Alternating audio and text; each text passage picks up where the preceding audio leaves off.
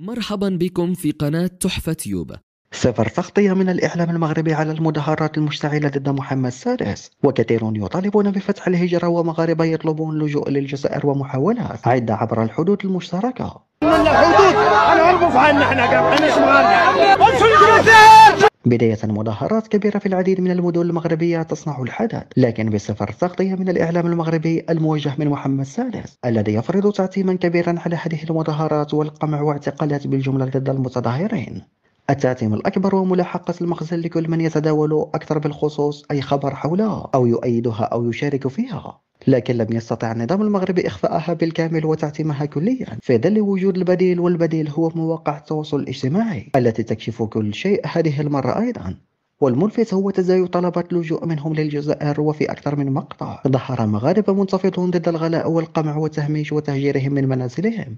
مطالبين بفتح الهجرة والسماح لهم بهجرة بلادهم. بعضهم طلب باللجوء للجزائر وفضحوا تصريحاتهم وهتافاتهم. والمخططات المخزن الذي دائما يربطهم بالعمل للجزائر. والادعاء أنهم بيدق الجزائرية ويعملون ويخدمون أجندات ما يسميهم الإعلام المخزني. بجنرالات الجزائر بما أن الجنرالات على ما يبدو يسببون عقدا للمخزن. فأي مشكلة أو أزمة أو احتجاج حتى من المغاربة على رفع أسعار الغاز. اتهم المخزن كل من نطق بالعمل للجزائر وتهم أخرى كثيرة. وقد تظاهر مؤخرا مئات المغاربة قرب الحدود الجزائرية المغربية وحاول المئات من المغاربة دخول الجزائر هربا من البطش والقمع والتهميش مؤكدين أن الجزائر أحسن بلد جار وبلد خير ولن تنطلي عليهم. سياسات محمد السادس الذي يعمد إعلامه على تشويهه كل ما هو جزائري وخداع المغاربة. بالتصوير لهم يوميا أن الجزائر عدوتهم وتضرب مصالحهم لكن باتوا واعين جيدا بهذه التهمة والادعاءات الباطلة وأنها سياسة متعمدة من محمد السادس للتغطية على إخفاقاته وإلصاق كل مشاكله بالجزائر. هذا وكان المخزن المغربي قمع حتى مئات المغاربة الذين احتجوا أمام الحدود والذين حاولوا اللجوء والفرار من المغرب نحو الجزائر خاصة سكان المناطق الحدودية الذين أكدوا أنهم مهمشون لدرجة لا توصف. كما أنه بسبب الظروف المعيشية الصعبة وقهر النظام المخزن تداول النشطاء فيديوهات كثيرة وثقت كمية المعاناة التي يعاني منها. الشعب المغربي بعد أن أكدت مصادر مطلعة أن المظاهرات الغاضبة جاءت بعد سلب عقارات خاصة بالشعب المغربي ومنحها لجهات عدة معروف اسمها. متداولين مشاهد مختلفة منتشرة على نطاق واسع على مواقع التواصل الاجتماعي. مظاهرات غاضبة ضد نظام المخزن يطالبون بفتح الحدود والخروج من المغرب. نحو الجزائر بعد السطو على ممتلكاتهم ومقدراتهم. دون أصلا حتى أن يكلف النظام المغربي بعد أن أخرجهم أي تعويض. بعد أن رفض الغدر بالجزائر وكان عند محل ثقة الرئيس تبون. مفاجأة مدوية من الجزائر مع رئيس السنغال بعد إفشال مخطط محمد السادس وهل طلب دخول تكتل الجزائر بعد رفضه عرض المغرب؟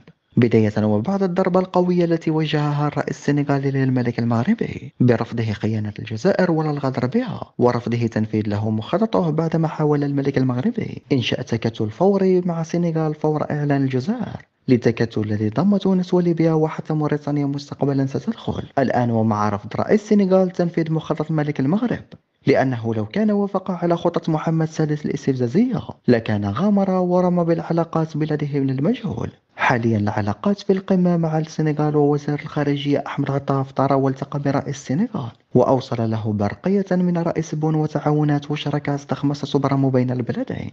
كما لا يستبعد أن تدخل السنغال في التكتل الجزائري الليبي التونسي الموريتاني فالحفرة التي حاول النظام المغربي إيقاع الرئيس السنغالي فيها وقع فيها هو بنفسه. حاليا خيبة كبيرة تخيم على إعلام المخزن جراء تحركات رئيس السنغال وراحوا يهاجمونه ويعتبرونه بين قليل الجزائر واتهامات باطلة منهم. فقط لأنه حافظ على علاقته مع الجزائر وأثنى على رئيس بون ورفض مخطط محمد السادس كما أن وزير الخارجية المغربي ناصر بوريطة مغضوب عليه من ملكه محمد السادس جراء هزائمه المتتالية أمام وزير الخارجية أحمد عطاف وربحه للسنغال لصالحه ناهيك عن كون الزيارة التي كانوا يدعونه إليها لزيارة المغرب لإنشاء التكتل. تفاجأوا اليوم بكون الرئيس السنغالي يعلن زيارة رسمية للجزائر ويتجاهل تماما زيارة المغرب بل ويعلن تحمسه للقاء الرئيس سبون والعمل معه وتسريع الدفع بالعلاقات الجزائرية السنغالية. فنصر بوريطة من خيبة لأخرى وفشل في كل مهرهاناته وسباقه أمام عطاف. أما وبهذه الخطوة من عطاف مع رئيس السنغال يكون أفشلا رسميا محاولة ملك المغرب الذي أراد إنشاء تكتل موازي مع السنغال وموريتانيا ودول أخرى.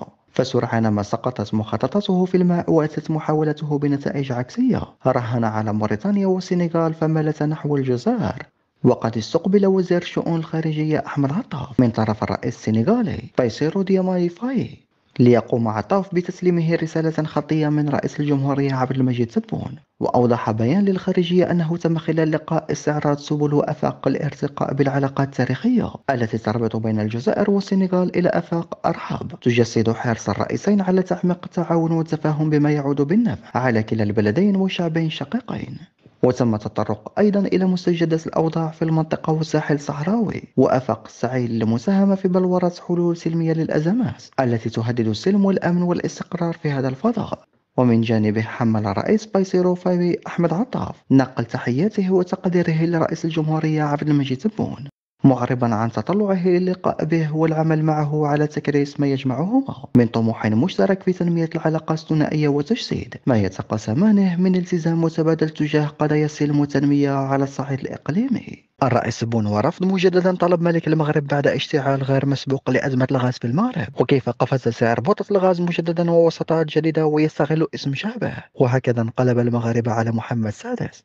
بداية ومع فشل الملك المغربي محمد السادس في التعامل مع أزمة الغاز وعدم إيجاده أي بديل لغاز الجزائر رغم كل هذه المدة منقطعة. فالارتفاع ظل مستمرا آخرها اليوم يتخطى عتبة 10 درهم بعد أن كان يشتريه من الجزائر قبل أن يقطعه الرئيس بون سابقا عليه بسعر رمزي وأقرب للمجان بل ولم يكن المغرب يسدد حتى فواتير ضخمة منذ عقود. الآن ومع الانتفاضة والغضب الشعبي عليه في المغرب مطالبين إياه بإقالة رئيس حكومتهم وكل المسؤولين. حتى أن كثيرين طالبوا محمد السادس بتحمل مسؤوليته بما أنه هو المتسبب في أزمة الغاز والغلاء الفاحش الذي يعانون منه في المغرب. فالرئيس بون كان قطع الغاز بذلك القرار الصارم بعد تماطل الملك المغربي وتماديه في الإساءة وتآمر مع أهل الجزائر حتى بتحالفات مع جهات عدة لمحاولة ضرب المصالح الجزائرية. ولم يكن يتوقع الملك المغربي حينها أن الرئيس بون سيفرض عليه كل تلك العقوبات دفعة واحدة كما أن محمد السادس حتى من تحالف معهم لم يفيدوه وأصلا لم يجد. أي دولة تعوض له غاز الجزائر الذي كان يتنعم به المغاربة وبأسعار رمزية انقطعت عليهم بسبب محمد السادس وهو الذي أحاط نفسه بالمفسدين الذين نهبوا مليارات المغاربة. ويمتلك وزراءه كبر الشركات ولا يكترثون بهم والقمع الوسيلة الأولى لهم. كما صدم الأخير مجددا برفض قاطع من الرئيس بون إعادة الغاز مع محاولته إقناعه بوسطات من عدة دول. أما حاليا يحاول استغلال اسم الشعب المغربي لاستعطاف وإقناع الرئيس بالحوار خاصة وأن مسؤوليه آخرهم لقجع وأخنوش وغيرهم. باتوا يعترفون صراحة أنه من المستحيل تعويض الغاز الجزائري وأن الحل مع الجزائر وجب إقناعها بالتراجع عن القرار لإعادة العمل بأنبوب الغاز المغربي ورفع العقوبات. لكن طبعا المغرب ليس بأمره بيده. لهذا الجزائر لا تثق فيه ولم تقبل كل طلبات محمد السادس ولم ترفع العقوبات. ليقين الرئيس بون تام بكون محمد السادس هناك جهة تتحكم به وتستعمله كوسيلة وأداة للتشويش على الجزائر.